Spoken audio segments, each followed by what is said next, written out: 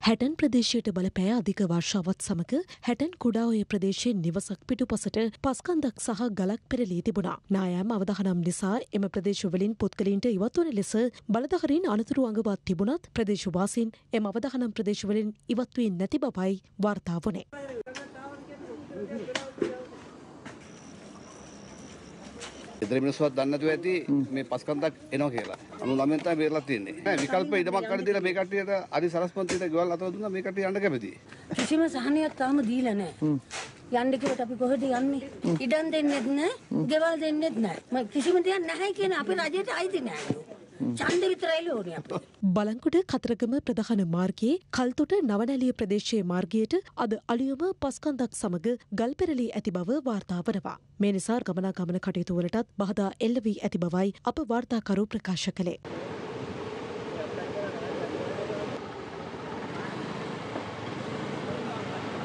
අයහපත් කලකුණ තත්වය හේතුවෙන් දිස්ත්‍රික්ක එකොළහකට මෙවන විට නාය මනතුරු ඇඟවීම් නිවේදන නිකුත් කිරීමට ජාතික ගොඩනැගිලි පර්යේෂණ සංවිධානය පියවර ගෙන තිබෙනවා. මහනුවර මාතලේ රත්නපුර බදුල්ල කොළඹ ගාල්ල හම්බන්තොට කළුතර කෑගල්ල කුරුණෑගල සහ මාතර යන දිස්ත්‍රික්ක සඳහායි එම අනතුරු ඇඟවීම් නිවේදන නිකුත් කර ඇත්තේ. වර්ෂාවත් සමක කොල්ලුපිටිය ඩොබ්ලිකේෂන් පාරේ ගසක් කඩා වැටී තිබුණා. වෙළඳ අමාත්‍යංශයේ ඉදිරිපිට සිදු වූ මෙම අනතුරින් වාහන තුනකට අලාභහානි සිදු වී ඇති බවයි වාර්තා වනේ. මෙම අනතුරින් කිසිවෙකුටත් හානි සිදු වී නැහැ.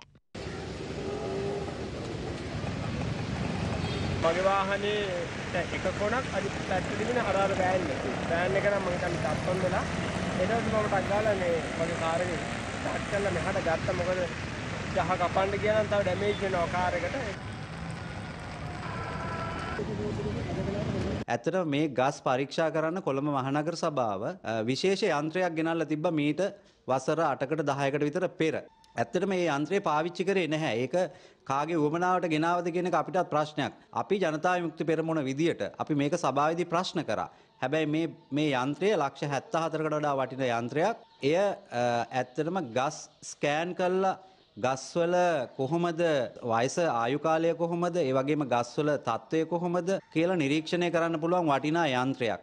මේ යන්ත්‍රය ක්‍රියාත්මක කරේවත් ඇල්ලුවේවත් නැහැ. සභාව අපිට පිළිතුරු දුන්නා. 10 දෙනෙකුට ආසන්න ප්‍රමාණයක් මේකට ට්‍රේනින් කරලා තිබුණා. හැබැයි ඒ 10 දෙනාම මේ මැෂින් එක ඔපරේට් කරන්න යොදවලා තිබුණේ නැහැ. එතකොට පරිපාලනය පැත්තෙන් ගැටලුවක් තියෙනවා. ඇයි එහෙම කරේ කියලා. දැන් මේ වෙනකොට නගර සභාව ලහි ලහියේ මේ පාරවල් අවට සහ තියෙන ගස් කපනවා.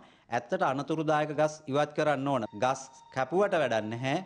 මොකද ඒවා නැවත සිටුවන්නත් ඕන. ඉතින් එහෙම වැඩපිළිවෙලකුත් මේක ක්‍රියාත්මක වෙනවද කියන ප්‍රශ්නේ තියෙනවා. වර්ෂාපතනය හේතුවෙන් පොල්කොල්ල ජලාශයේ එක් වන් දොරටුවක් මෙවන විට විවෘත කර තිබෙනවා.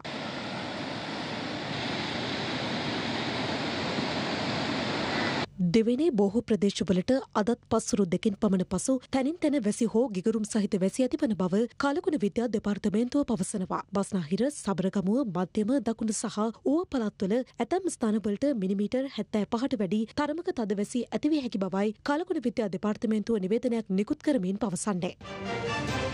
රටේ ලෝකෙ සිදුවන උණුසුම්පුව දැනගන්න සියත නිවස් YouTube චැනල් එක අදම සබස්ක්‍රයිබ් කරන්න.